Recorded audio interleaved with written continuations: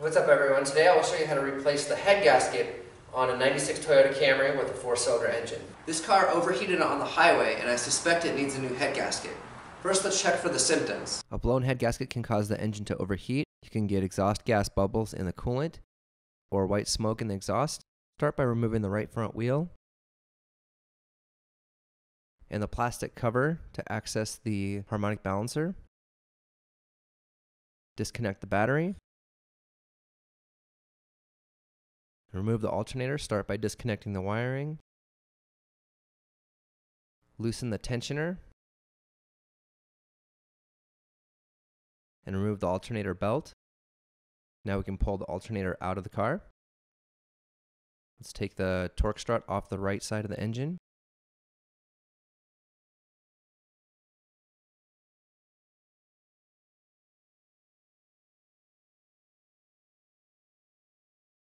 Use a 14 millimeter wrench to remove the brace from the right side of the engine. You can interlock two wrenches to put a little bit more torque on it.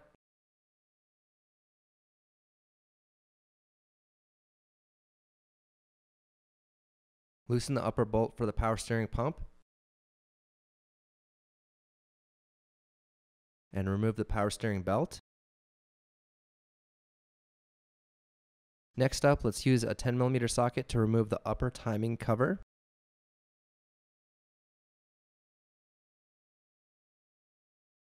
Use a 19 millimeter socket to turn the crankshaft.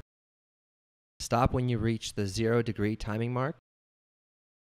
Use a mirror to look at the camshaft pulley. The hole should line up with the line at top dead center. Use the impact wrench to remove the harmonic balancer bolt and pull the balancer off the car. Use a 10 millimeter socket to remove the lower timing cover. Use a 14 millimeter socket to loosen up the timing belt tensioner.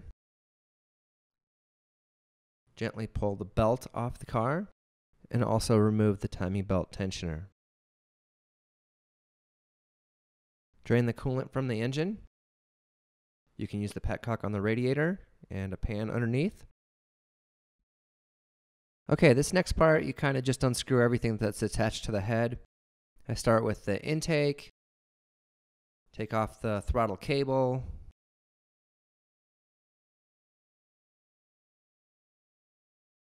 taking off some of the hoses from the valve cover,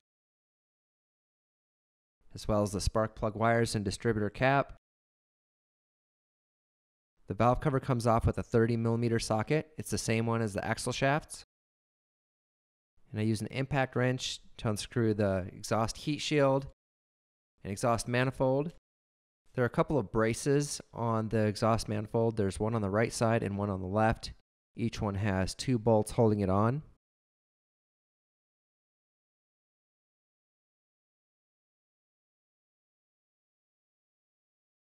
And let's take that exhaust manifold off the car.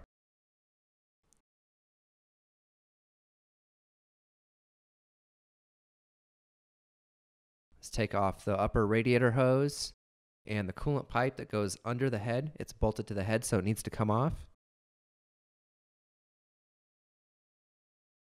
And just go through and take off all the vacuum hoses and wiring from the engine. Remove the intake manifold bolts and pull the intake from the vehicle. The camshafts are covering up the head bolts, so they will need to come out. Let's start by taking off the distributor. Notice it's pointing down. We're going to mark the camshaft gears to make sure we put them back in correctly. You can use a paint marker. I'm doing something a little more permanent. I'm going to loosen each camshaft cap a little bit at a time. We don't want to bend the camshaft, so we want to do this as gently as possible. So loosen the caps in steps and then pull the camshafts out. And arrange the camshafts and caps to make sure each one goes back in the same place. 12 millimeter 12 point socket for the head bolts. Also loosen these in steps. Take the head bolts out and you can pull the head off the car. Let's check out the engine block. Kind of dirty. Uh, might need to clean that up a bit. Head gasket definitely looks old. The cylinder head also looks old. There's a lot of carbon on the valves. I'm going to clean the engine block with a wire wheel. This is okay because it's cast iron. And this actually looks really good. The head does not look quite so good. There's a lot of pitting where the water went through. I should take this to a machine shop. Took some measurements at the machine shop and found out that head is warped, uh, so it really can't be used. I ordered a new one. So here I got the new cylinder head. Just make sure you compare it very thoroughly. Uh, there's two different versions of California emissions is different from the standard one. Make sure all sides match up so you can use the part. Here I'm going to put a little bit of oil on the camshaft because I'm going to turn these camshafts. Put the pulley on. And I'm turning the intake camshaft to where all the valves are closed, reducing the pressure on the camshaft. This is so I can take the camshaft out without damaging it. Remember the head bolts are hidden under the camshaft. Loosen the caps a little bit at a time. Notice this one came with the timing gears marked. That's great.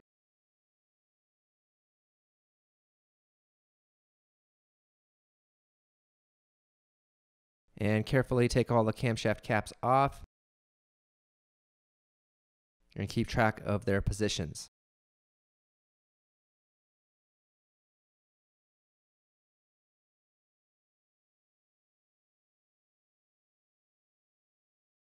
I'm also going to turn the exhaust camshaft a little bit to even out the pressure on the lobes. Same thing, just loosen the caps a little bit at a time and pull that exhaust camshaft out. Let's get all that extra oil off of here. Can't have any oil on that head gasket. With everything very clean, put the head gasket on the engine. Make sure you do not use any kind of sealer. Place the head on the block. Lube every bolt with oil and install the bolts into place. This is taken from the engine service manual here.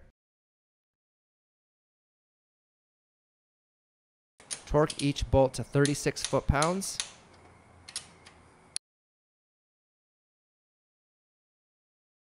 Next, we're going to turn each head bolt 90 degrees.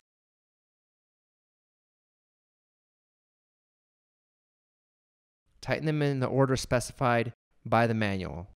Go back to that part of the video if you need to. The camshafts also require a special installation procedure. Basically, we want to turn the camshafts so they're not opening the valves during installation. We're going to rotate the intake camshaft until it sits in its lowest point.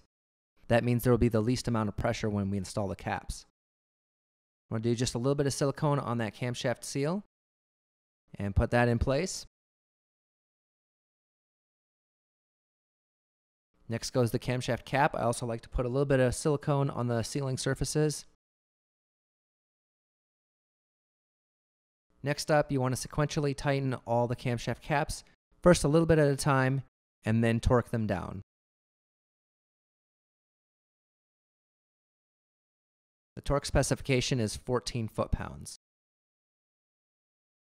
Next up, we need to install the exhaust camshaft.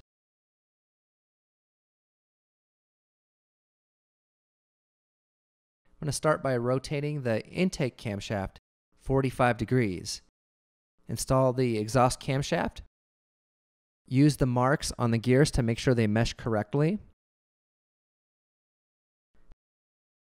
And here I will turn the intake camshaft until the exhaust camshaft sits as low as possible in its journals. And there we go, that's that spot. Now I can install the caps and remember to also torque these to 14 foot-pounds of torque. Verify the gears mesh by rotating one revolution. I'm going to do the intake gasket. A little bit of silicone is what I like to do. That way it'll stay in place. Install the intake manifold. There are several bolts on top and two bolts that you can install from underneath the car.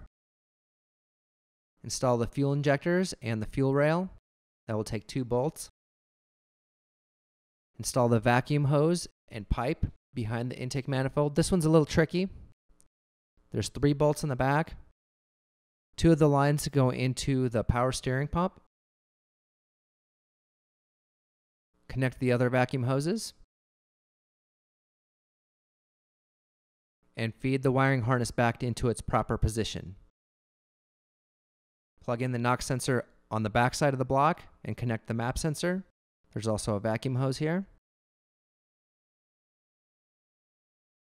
The intake manifold support goes all the way to the bottom of the block by the oil pan. Don't forget this part. Use silicone sealer on the camshaft end caps. And I also like to do a little silicone in the corners, or you can just put it everywhere like I do. Install the valve cover. And go ahead and install the wiring. The wiring harness goes under the coolant pipes. Install the EGR valve on the back of the intake. Install the fuel line. The pressure hose connects to the fuel filter. And the return line is a little harder to see. It goes to the fuel rail.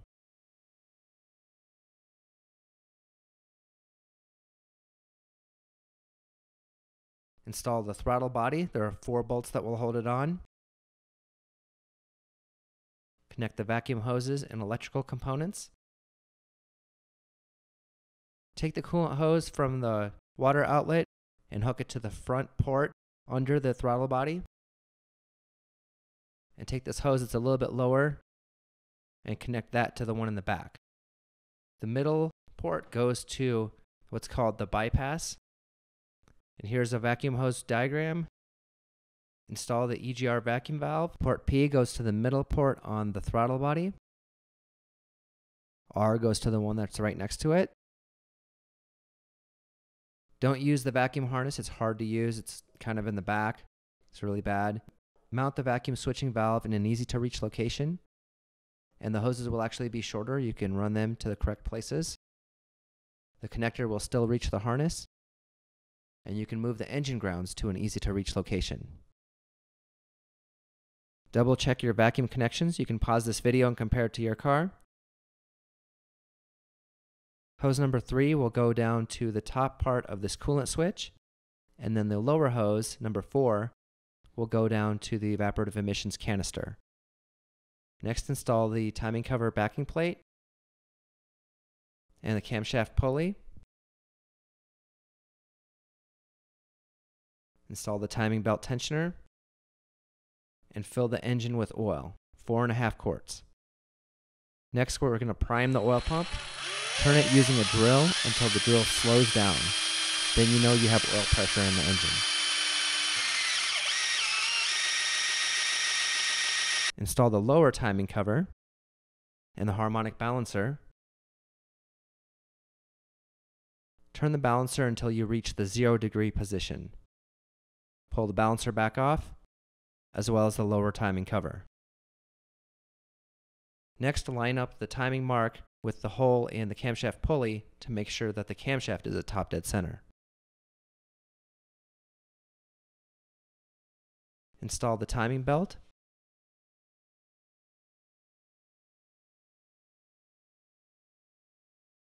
Once the belt is in place, install that lower timing cover and the balancer and turn it two complete revolutions.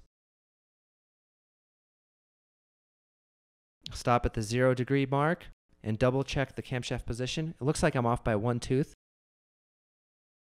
Here we're going to move the tensioner down and lock it in the loose position. This will allow me to scoot that camshaft pulley forward one tooth. Let's put tension back on that belt. Turn the crank two revolutions again.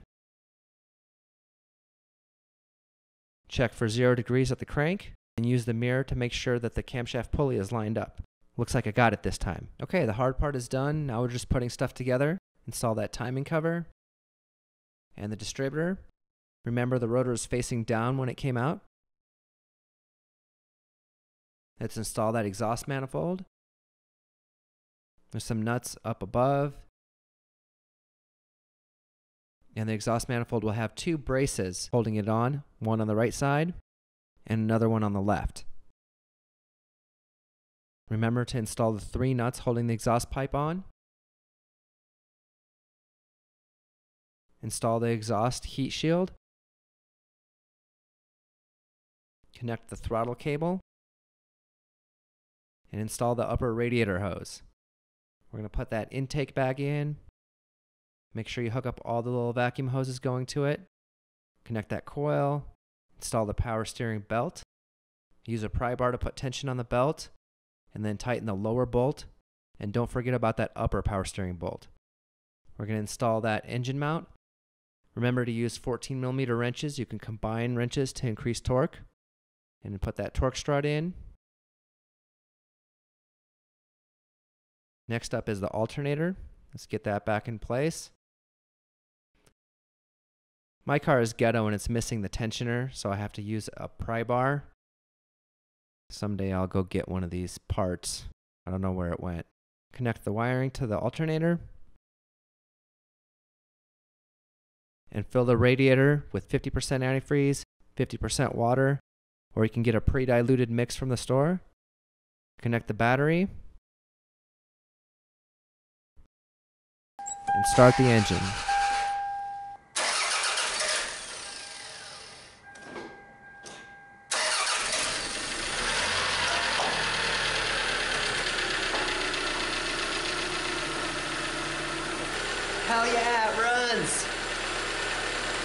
Reinstall the plastic cover and the front wheel. Take the car off the jack and tighten each lug nut to 80 foot pounds of torque.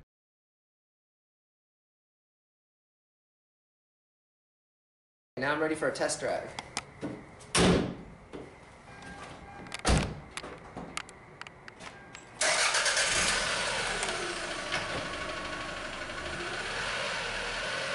Okay, it looks like I've fixed my car, and you can do it too.